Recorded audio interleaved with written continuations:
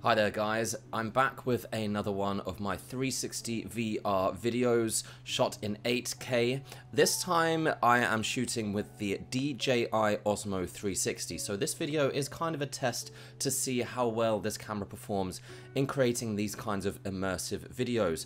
And it should be good because the Osmo 360 can shoot 8K at 50 frames per second, which is the first consumer 360 camera to be able to do that. And the higher frame rate means smoother playback, especially in VR. That makes uh, should make a big difference if you're watching this back on a VR headset or even on YouTube, um, just with the immersive controls. So unfortunately, YouTube does no longer render 8K 360 videos.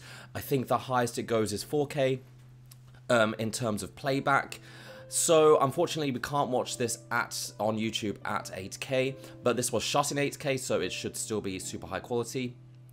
If you look in the description, I have uploaded this to a, another a site which does allow for 8K VR playback. So if you want to watch it on a VR headset in 8K, so if you want to watch this in 8K, go to that link and check it out.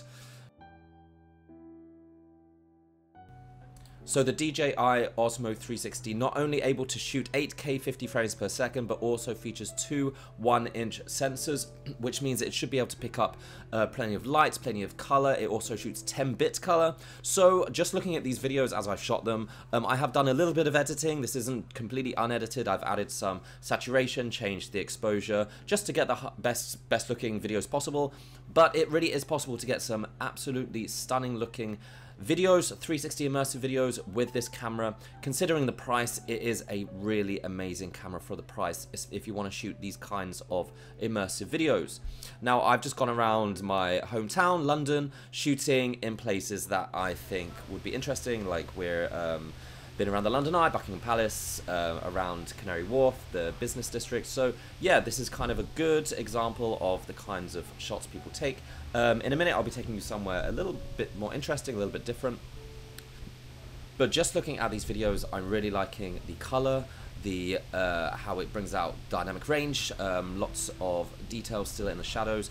Again, this is just very impressive, considering that five years ago, this kind of quality would require a three, four, five thousand pound dollar euro camera, which would be much larger, much clunkier, much harder to work with. So I'm really liking the videos coming out of the DJI Osmo 360 for immersive content.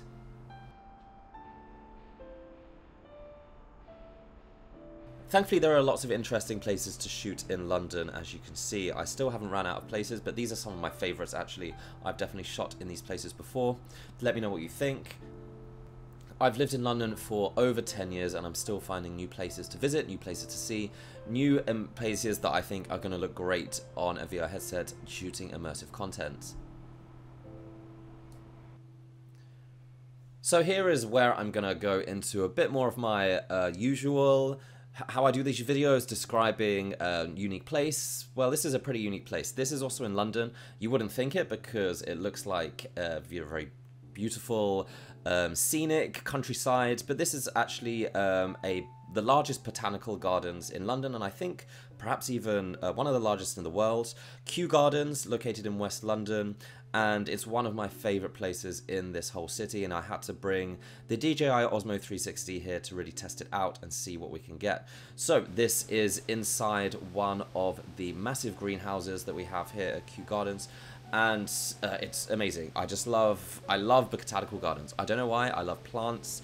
I love the heat. I love uh, being in a kind of tropical environment, even though you're in the middle of the uh, in England, which definitely could not house a lot of the plants and tropical life we find here. And just the greenhouses themselves are stunning.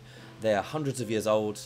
Um, the whole area is a UNESCO World Heritage Site among one of the most stunning gardens uh, that you could ever see. So yeah, if you're ever in London, I really, really recommend coming to see this. I'm to let you guys enjoy this. Uh, there are about three more stops. Um, just to play some music for you and you can enjoy the gardens and check out the quality of this camera. See if you think it's picking up good colors, good dynamic range, lowering the highlights, getting the shadows right. If you're interested in this camera for immersive content, then yeah, check out the link. You can see this in the highest quality possible and also check the links to see where you can buy this camera. It really helps me out if you do, to no extra cost of your own, but that's how I keep this channel running. So yeah, hopefully guys, you'll enjoy the rest of this video.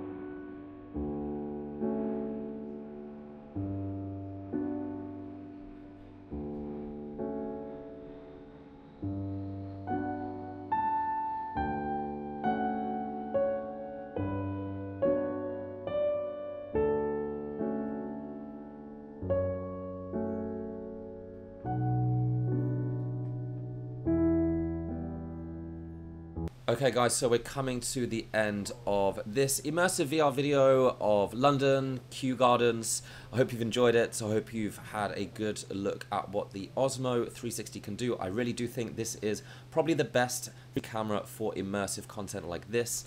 Um, in terms of other other content you can get with 360 cameras like the action camera, the action videos, um, travel vlogs, reframing. This is also pretty good for that.